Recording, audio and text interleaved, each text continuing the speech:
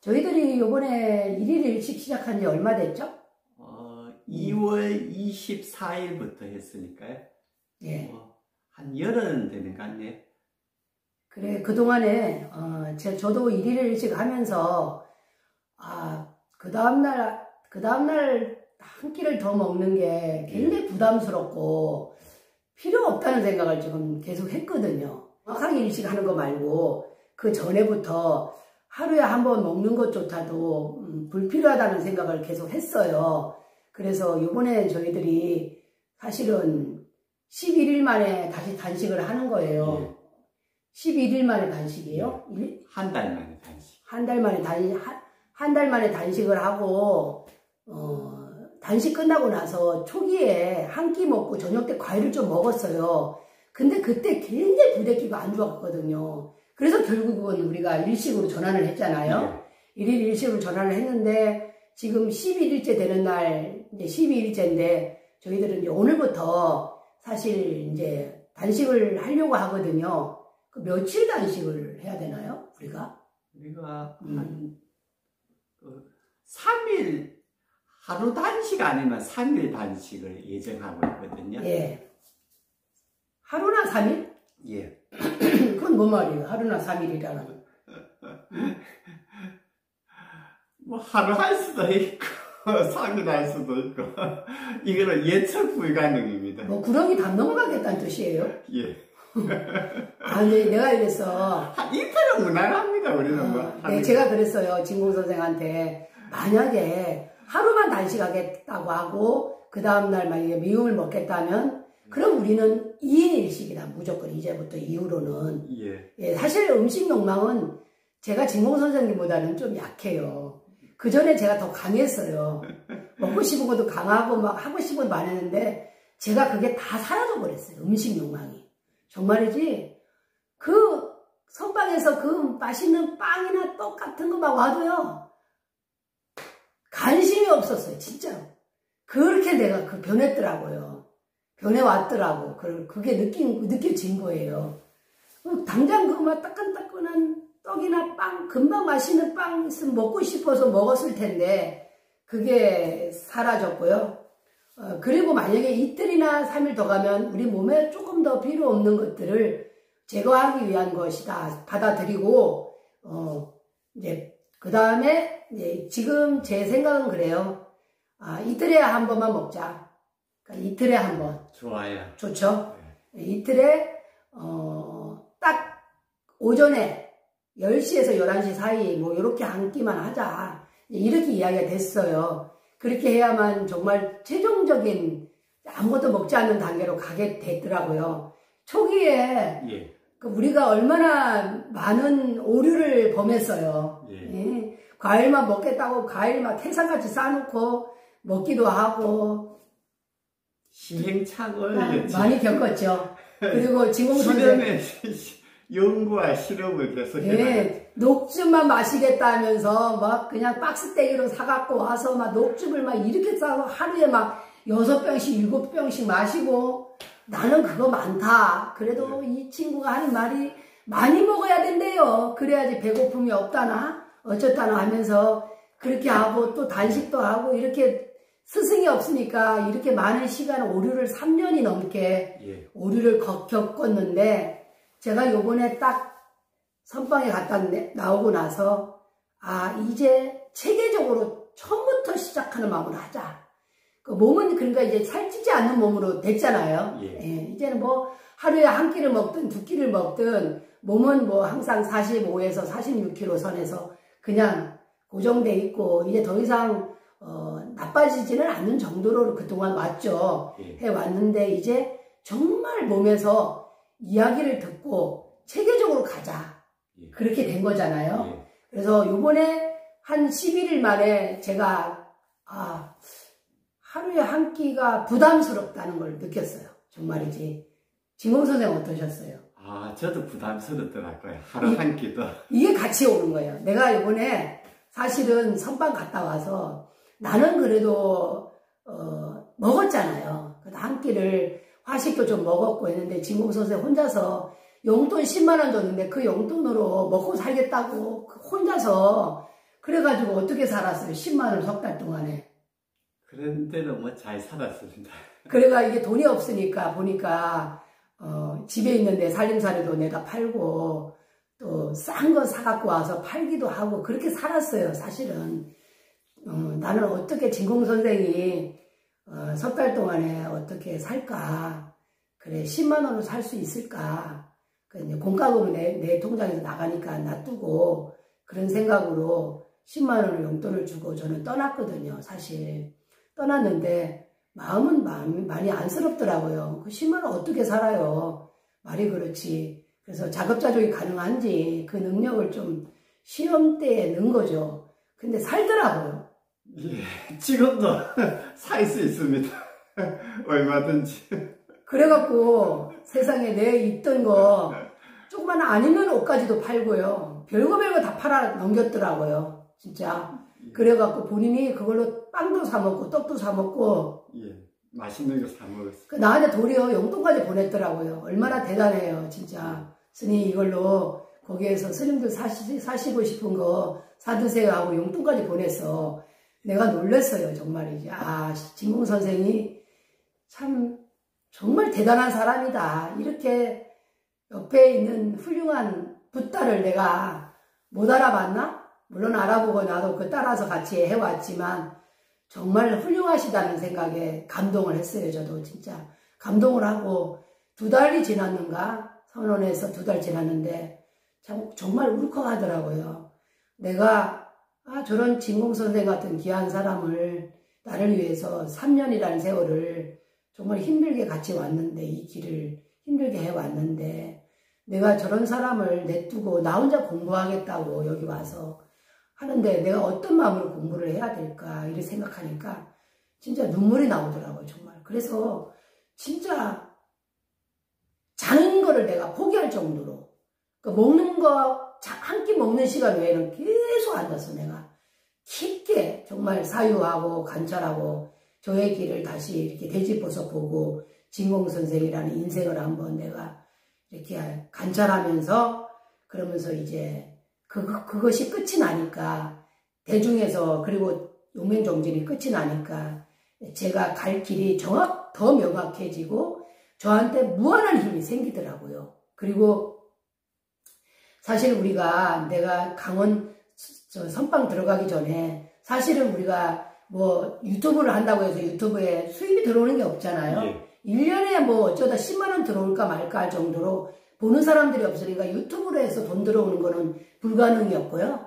사실 초기에는 그래도 좀 많이 봐주고 할 때는 가능했는데 잘 올리지 않고 하니까 유튜브에서도 수입이 없었고 또 뭐냐게 뭐 우리가 뭐 이렇게 뭘 팔고 이런 거 안 하면은 우리가 이제 수입이 없으니까 그래서 요, 우리가 한번 아르바이트를 한번 하자. 예. 아이트 아르바이트를 한번 했잖아요. 예. 예. 그래가 아르바이트를 뭘 했냐면 예초기를 돌려달라 그래갖고 예초기 돌리고 풀 뽑는 걸로만 해달라고 해서 했는데 이 사람들이 말도 못하는 일들 다 시키는 거예요. 막, 뭐, 비닐하우스 멀칭되어 있는 비닐하우스를 다 제거시켜라. 거기를 땅을 파서 땅을 다 팔아달라. 이래가지고 그 일들을 했어요. 뭐, 그냥, 그래.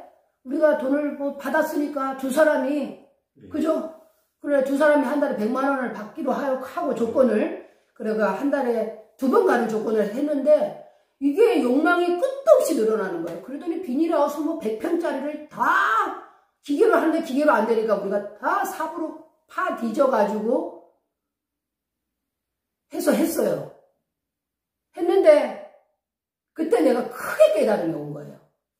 이게 비닐하우스가 비닐하우스를 이렇게 꽉 막아놓으니까 어떤 일이 벌어졌어요. 돌덩이와 같는 거예요. 땅이. 땅이 돌과 같아. 그래서 막 곡괭이로 파고 막 삽으로 해도 너무 힘이 드는 거야. 너무너무. 근데 가만 보니까 이 사람이 일을 하는 방법이 그 안에는 온갖 비, 복합 비료들이 수십 가지가 그대로 알매 그대로 있는 거예요. 그 내가 그때, 그때까지도 그거 잘 몰랐어. 그래갖고 우리가 마지막 비닐하우스 다 가고 우리 이거 더 이상 못하겠습니다. 내가 그랬어요. 이러다가 우리가 골병들을 죽겠고 우리 진공 선생도 일한 사람도 아니고 나도 골병들을 죽겠으니까 어, 여기까지 하겠습니다. 그러니까 아, 그렇게 하래. 우리 돈 받은 거 도려, 도, 도려 물려줬어요. 5만원 더 줬어요. 그거 두 사람이 해갖고, 세네 시간 해갖고 땅 파가지고, 결국은 우리가 완전히 내가 이거는 할 가치가 없다. 이건 무지의 소치 자기들이 해놓은 모든 무지를 우리가 청소를 해줘야 되는 상황인데 이거는 안, 내가 못하겠다 했어요. 그래서 내가 하는 말이 어 이거 멀칭한 거 다 걷어내고 그뭐 고추대 다 치우고 멀칭 다 걷어내고 땅 다 파고 하는 거 어, 했는데 이제는 더 이상 할 수가 없습니다. 우리가 할 수 있는 한계까지 맞고 못하겠으니까 그만하겠다고 하고 왔는데 내가 이거를 그때서는 몰랐어요. 왜 우리가 그 일을 했을까? 그돈 100만 원 받겠다고 두 사람이서 그렇게 고생을 하면서 일을 했는데 왜 했을까라고 했는데 내가 명상을 하는 게 딱 오는 거예요. 이게 인간하고 똑같다는 걸 알았어요. 인간의 몸도 땅하고 똑같다는 걸 알게 됐어요. 예. 그때 완전히 왔어요. 스님들이 너무 잘 먹고 너무 막 뭐 영양가 뭐 골고루 먹으라고 모든 사람들이 그렇게 말하잖아요. 아프면 아플수록 잘 먹어야 하고 5대 영양소는 골고루 섭취해야 하고 막 그러잖아요. 그렇게 하면 할수록 이 몸은 더 망가진다는 걸 내가 아는 거예요. 그, 그 분이 보니까 그렇게 우리가 땅을 이렇게 읽어놓으니까 온갖 비료, 복합 비료 막 수십 가지를 다 올, 하고 약치고 이러더라고요. 그래서 내가 그때서 내가 딱 느낀 거예요. 사람 몸을 그렇게 하면 안 된다는 거. 너무 잘 먹고 너무 잘 싸고 너무 건강하게 하고 빈틈없이 하면 할수록 몸은 더 약해진다는 걸 알았어요. 예. 네. 그래서 이 이야기를 제가 왜 하게 됐냐면 어, 우리가 우리 구독자분들한테 너무 주먹구구식으로 보여줬다는 거예요. 그냥 막 가겠다고 풀하나 호흡으로 가겠다고 하면서 말이야 뭐 과일 하는 거 보여주고 막 채식 채식 하는 걸 보여주고 그래서 제 몸은 정말로 정상적으로 완전히 건강하게 오긴 맞지만 순 단계적으로 가지는 못했다는 걸 말하는 거예요. 그죠? 예. 그게 우리한테 정말 필요했는데 단계적으로 가지 못해서 결론은 지금 1일 1식에서 뭘로 가겠다? 2인 2일 일식으로 가겠다는 거예요. 갈 수 있겠어요? 모르겠어요. 나는 그래서 이번에 갔다 와서 내가 가야 안 되겠습니까? 진공 선생한테 먹고 싶은 말해라.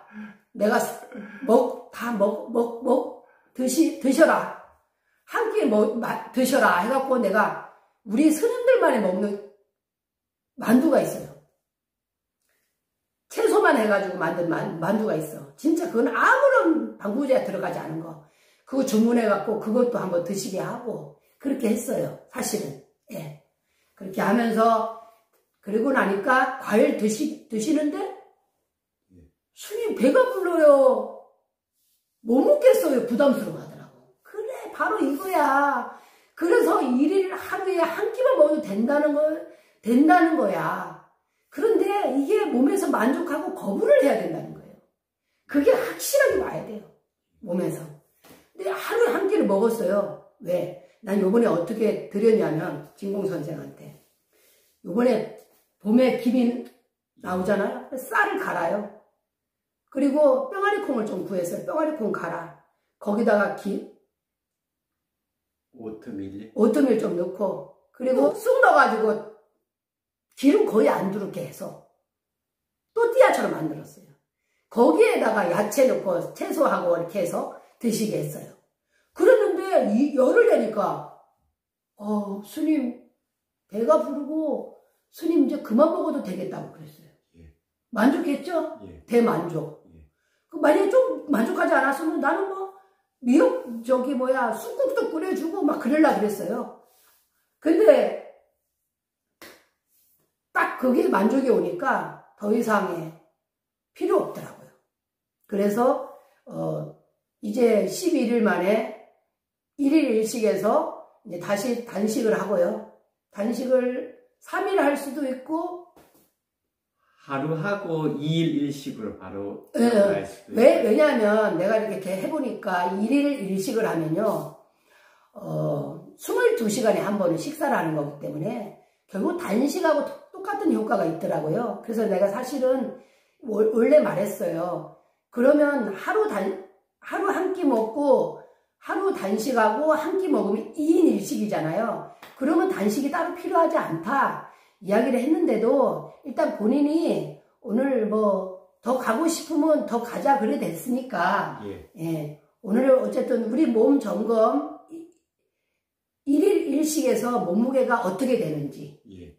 맞죠? 예. 그거 검- 점검하고 그리고 나서 이제 저희들 지금은 제가 하는 일은 어, 쑥 캐는 거고 우리 진공 선생은 물, 예. 물 떠오고 뭐, 뭐 청소할 거 혹시 있으면 청소나 하고 요즘 청소 제가 하는데요. 뭐 냉이 같은 거 있으면 씻어주고요. 어, 내가 네. 야채 씻어주는 거 그거 하네요.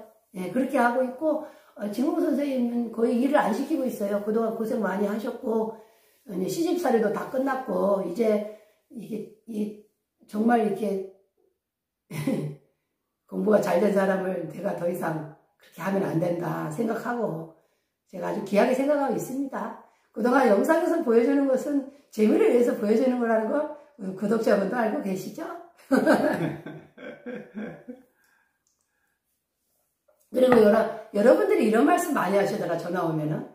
왜, 나는 하루에 한 끼밖에 안 먹는데, 왜 살이 안 빠지는지 모르겠대. 이해가 안 된대. 왜 이해가 안 되세요? 왜 이해가 안 되세요? 아니, 안에서 있는, 내부에 있는 것보다 계속 조금 있으면은 12시간 전에 또 먹을 게 들어오니까 안에 있는 거 이거 있잖아요. 저장되어 있는 거 먹을 필요가 없잖아. 그러니까, 그러니까 뭐예요?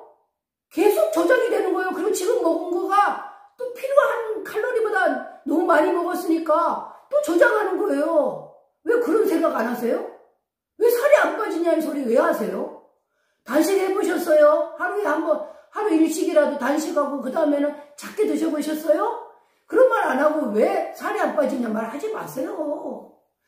살 안 빠, 안 쪄요. 드시니까 살이 찌는 거예요. 그 묘유가 지금 그동안에 보여주셨잖아요. 어? 살 안 찌게 먹잖아요. 그리고 필요 없는 과잉 식사를 안 하지 않잖아요. 그럼 살이 안 쪄요. 그러니까 저희들이 그때 몸무게 몇 킬로였어요? 마지막에 우리 그때 단식했을 때 50한 3kg 저는요. 나는 42kg까지 떨어졌는데 그래 1일 1식을 했어요. 그 몇 킬로 쪘는지 가서 확인해 봐야 돼요. 예. 그럼 몸무게 재러 갑시다. 예. 그리고 구독자분들한테 뭐 하고 싶은 말 있어요? 늘 뭐 똑같은 이야기죠. 그냥 존재하라 거야. 본성 안에 존재하라고 예. 자기를 자각하라는 말입니다. 예. 자기를 늘 자각하는 것. 밖에서 찾지 마시고요. 내면에서 해결을 하십시오. 모든 원인이 살이 찌는 원인도 자기한테 있고, 예, 스트레스 받는 원인도 내, 내 의식 안에 있는데, 의식 밖에서 그걸 찾으려 하니까 찾을 수가 없잖아요. 예. 예. 모든 문제의 해결 이랄까 그 답도 내 안에 있고요.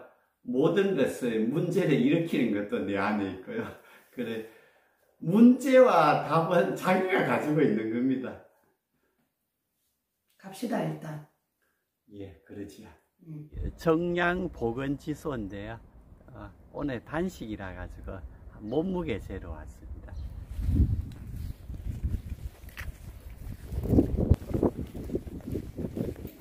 그때 51kg였어요? 53kg였나? 살 좀 쪘을 것 같은데? 한 2kg 쪘는데요? 거의 하루에 한 끼 먹었는데 2kg나 쪄요. 네. 나는 45kg. 그럼 3kg 쪘는데? 예.